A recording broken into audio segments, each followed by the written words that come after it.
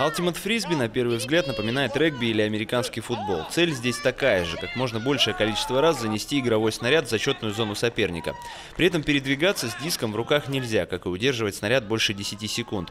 По части демократичности фрисби не уступит и гораздо более массовым видам спорта. По сути, все, что нужно для этой игры, та самая тарелка и необходимый минимум спортивной формы. Но все это касается Ultimate фрисби только на самом примитивном уровне. Когда речь заходит о соревнованиях, на первый план выходит уже техническая оснащение оснащенность игроков и тактика.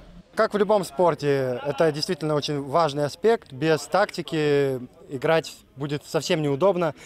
Ну, соперник не будет понимать, что мы делаем, и да и мы сами не будем понимать, что мы делаем. В тактике каждый знает, когда выбегать, и поэтому как бы все работает.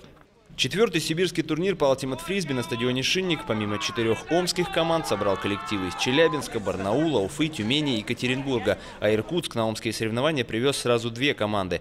Организаторы турнира, постоянные участники областного молодежного форума «Ритм» делают все, чтобы фрисби в Омске постоянно развивался. И надо сказать, что добиваются успехов в этом направлении.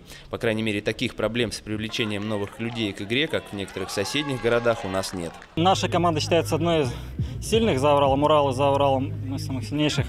Но сейчас небольшой спад, игроков меньше стало. Вот надеемся сейчас набрать новеньких, то есть много стариков, много топовых игроков.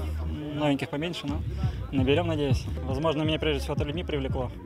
Вот. Немножко особые люди здесь. Есть такое правило, как бы одна победа это по очкам, а вторая победа дух игры. То есть настрой, положительный настрой, уважение. Для меня это очень важно. Мне нравится, как тарелочка летает. Ultimate фрисби еще один из самых честных видов спорта. Дело в том, что здесь даже в соревнованиях нет судьи, а игроки сами между собой решают, было нарушение правил или нет. На сей раз самыми честными и тактически подготовленными по итогам турнира оказались игроки омской команды Free Fly. Они обыграли в финальном матче соперников из Иркутска 10-5 и сохранили за собой завоеванное год назад звание сильнейшей команды сибирского региона. Бронза у представителей Екатеринбурга.